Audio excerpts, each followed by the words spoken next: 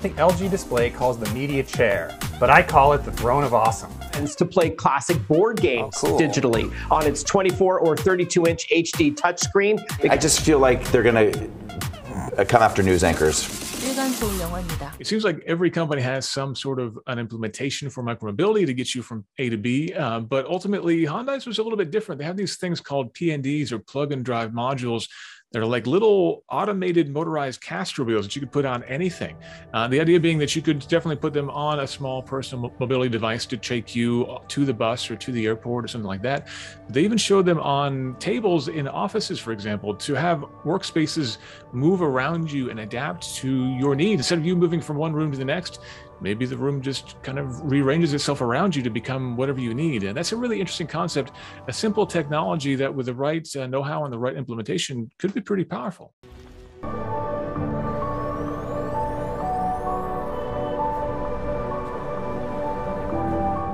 Infinity Game Table has you sit with up to five other family members or friends to play classic board oh, games cool. digitally on its 24 or 32 inch HD touchscreen. It could be Monopoly, Scrabble, Battleship, Candyland. These are all built in, over 60 of them, or you can download other games. The problem at my house, Mark, is that with the three between the three kids that I have, we'll lose one of the pieces to the board game. You know, the dice or Not the anymore. chips or the pieces. Yeah, Everything's thing of the right there, digital.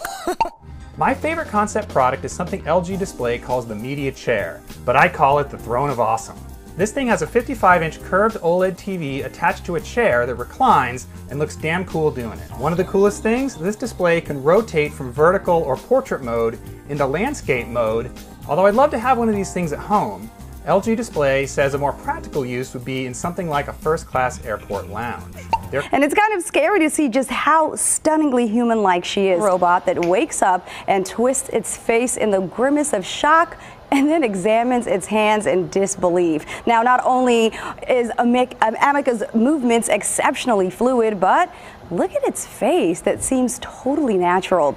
As for the technology, experts say Amica's combination of mechanical limbs and ligaments, joints, and sensor arrays is cutting edge. But guys, aside from just marveling at Amica, a lot of people are pretty terrified. Uh, folks are making references to movies like The Matrix and Terminator, wondering if we really are getting closer to robots taking over the world? Because I, I just feel like they're going to uh, come after news anchors. Finally, meet the king of massage chairs, body friends Pharaoh O2. Here we go. Oh, now it's starting. I, I feel it.